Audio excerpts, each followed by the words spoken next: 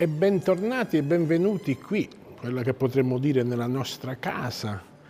E siamo tornati nel santuario di Santa Maria delle Grazie proprio per vivere insieme questi ultimi giorni del mese di maggio in cui anche noi abbiamo cercato di pellegrinare in dei posti cosiddetti mariani, posti dove Maria nella semplicità, e eh, nella, nella quotidianità, ecco potrei dire, dove Maria ha sempre voluto dire qualcosa a noi, qualcosa ai suoi figli, posti a volte legati a presunte apparizioni o apparizioni poi um, certificate, riconosciute, poste, eh, posti eh, legati alla devozione della gente che ha eretto in quel, in quel luogo una chiesina, una chiesetta, un santuario grande in ricordo,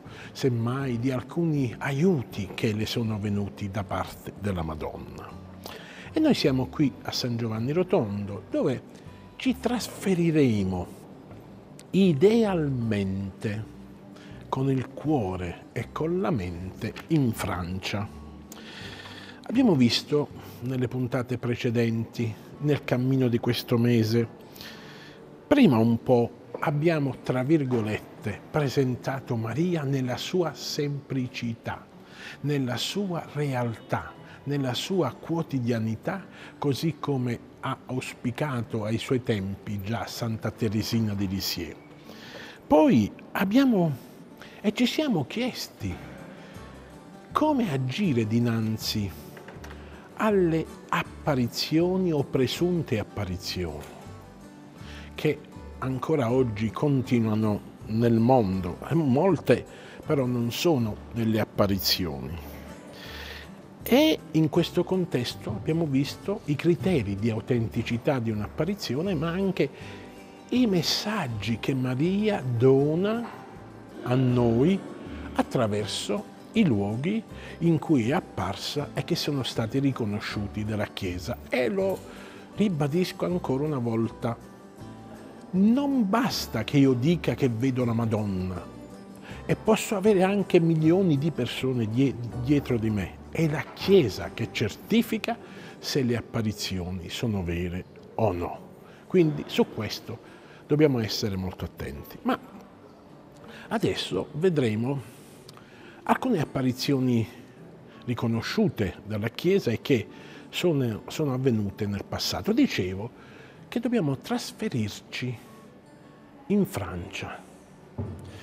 In Francia siamo alla fine del XIX secolo. Cosa succede? Dobbiamo andare in una casa di contadini, quindi di gente semplice.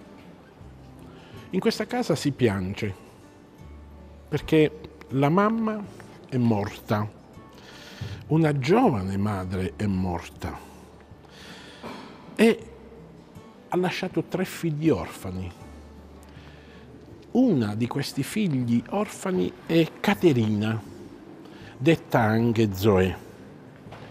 Caterina non sa né leggere né scrivere. Ha nove anni e è pietrificata dal dolore della perdita della madre, nonostante la sua giovane età, i suoi nove anni.